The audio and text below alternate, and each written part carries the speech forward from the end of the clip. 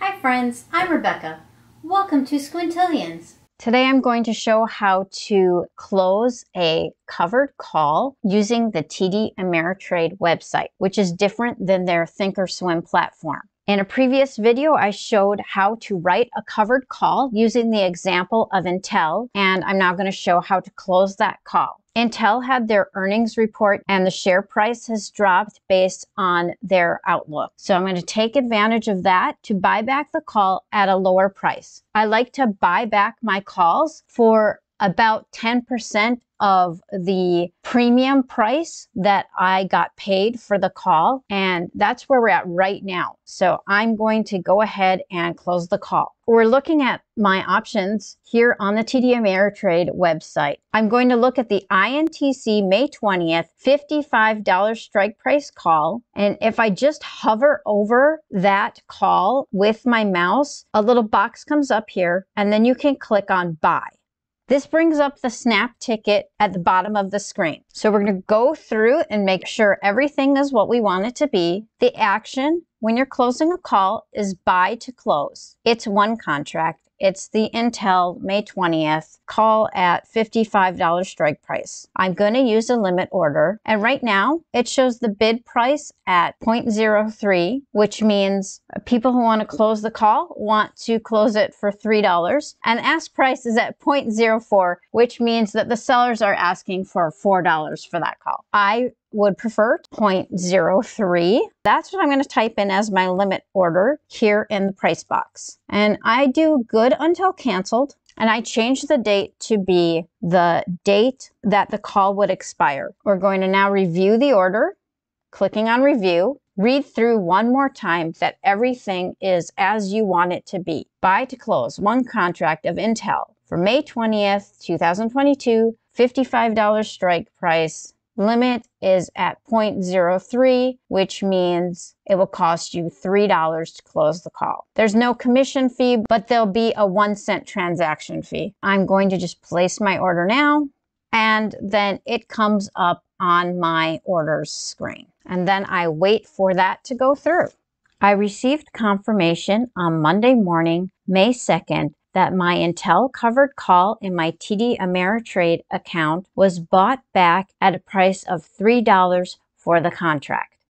Now I'm going to show you how I keep track of my covered calls in my spreadsheet. I'm currently in the 2022 closed calls in my TD Ameritrade IRA. I group my covered calls by the month that they close in. And the reason for that is for taxes when you're paying your taxes, you are taxed on the profit that is made when the contract is closed. Okay, so I have the name of the company here. I have the symbol. Then the buy price is what I paid for the stock when I first purchased it.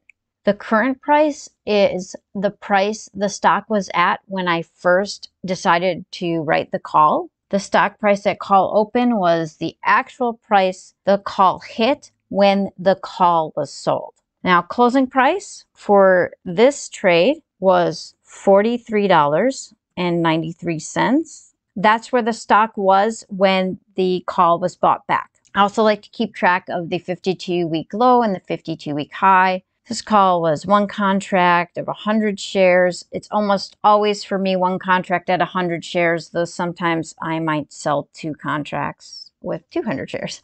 The value of the shares in the contract is basically the buy price of the stock times 100. The strike price for this call was $55 with an expiration of May 20th, but we didn't get there because I bought back the call. The amount of money I received for selling the call was $42 minus the 66 cent commission and fees. When I sold the call, I received $41.34. I'm exiting this call by buying it back, and that was at 0.03 or $3 total for the price of the contract. And then there's a small fee of one cent on top of that. And then you get the calculation of exactly what you made on this call minus um, all the fees and how much you paid to buy it back. I made $38.33 on this covered call. That's a profit of 0.81%, which is exactly in the range that I like to have for my premiums when I'm selling a call. And my preferred range is between 0.5% and 2%. Anything over 2% usually means I have a higher risk of the call being assigned.